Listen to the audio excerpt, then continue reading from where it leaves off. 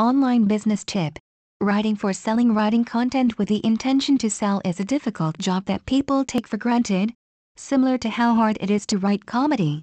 The point is that people know that you are trying to sell them something. That alone arouses suspicion. And when you're selling through an e-commerce website, such as that you are not selling face-to-face makes people, especially prospective new customers, even more suspicious. Add to that, this is a day and age where scams run even more rampant, and producers sacrificing quality to cut costs. It's a wonder people still manage to sell at all. Here are ways in which you can manage to appear more convincing. Make sure that your tone of voice is proper. And do not overstate. Marketers have a tendency to overhyper things. And promising superb, high quality, fantastic offers which end up to only marginally useful for the customer. In the end, this only results in an annoyed customer. So forego superlatives. Your copy should always show the source. If you are a bank, talk like a banker. If you are selling health products, talk like a health enthusiast. The copy must also be proper to your audience, as they probably will not appreciate being talked to like a group of children or a group of subnormal teenagers.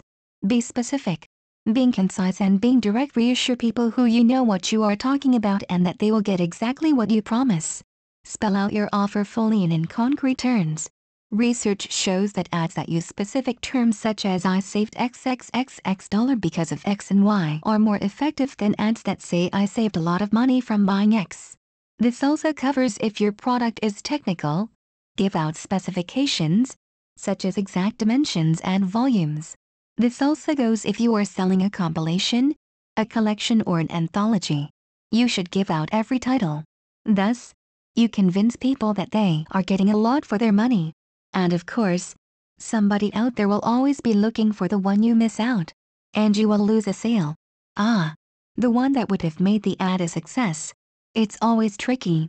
Write in the present tense as much as possible. The words will, can, and could only imply Thus, there is less certainty of the benefits compared to as when one would use the word is. So, use the present tense as much as possible. Thus, you say that this product does this. You feel this. Not it will do this. Or you will feel. Make it sound easy. Don't talk about the buyer having to do anything. Rather, talk about the product doing it for them. You can also be more specific here, like adding a time frame. This also goes out to how the customer will have to order or communicate with you. If it's hard enough or it involves a lot of complicated steps, they will most likely give up. Finally, restate your benefits before closing the sale. Bolster enthusiasm just before you ask for the money. Remind them what they get and what they miss out on if they do. Many people are now looking to make money online as a way to change their life. Discover a proven system and roadmap to do that. Better hurry. And go here right now to get your hands on it. Http irishmarketerwebsitedesign.com